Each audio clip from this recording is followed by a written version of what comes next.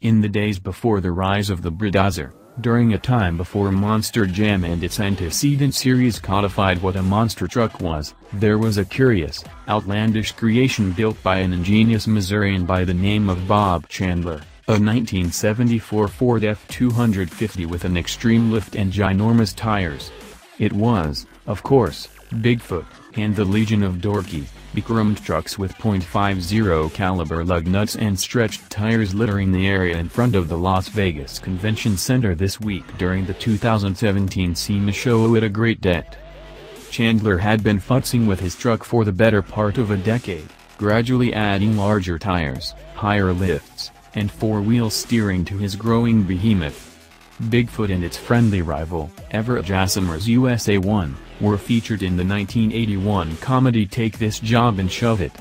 Then Playskool went and burned the truck into the minds of schoolchildren in 1983, building a tough little battery-powered plastic toy that allowed a kid to learn about the wonders of transfer cases by slamming shift levers that protruded through the pickup's roof. A succession of trucks followed, perhaps most notably Bigfoot 5, which wore a set of 10-foot-tall Firestone Tundra tires, taking the aesthetic to its extreme. But the original truck is still the touchstone, and when we caught a friend on Facebook pledging relevant fealty to one of its meaty Firestones, we made it a mission to track down the mythic beast and bask in its glory.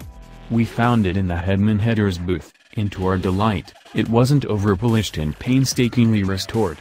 The paint on the famous flip-up front clip's hood is oxidized. There are rust spots where the paint has been chipped away. Pinstriping on the frame is scuffed, scratched, and worn. It's an artifact of the 1970s and the 1980s, an important one to boot, and it wears its history proudly. Chandler retired the much-modified pickup in 1987, continuing on with a litany of successor vehicles, which all look like, well, monster trucks. Amid a sea of cars sold to shops by OEMs for a buck displayed at the show, and disposed of a few years later as used cars whose fashionable moment has long since passed, to spend a few minutes standing around the OG Bigfoot, a truck both timeless and wholly of its time, was a special treat and a refreshing tonic to the tasteless junk strewn about outside. Why, yes, hapless kid traipsing across our lawn, our shotgun is loaded with rock salt. Care to test us?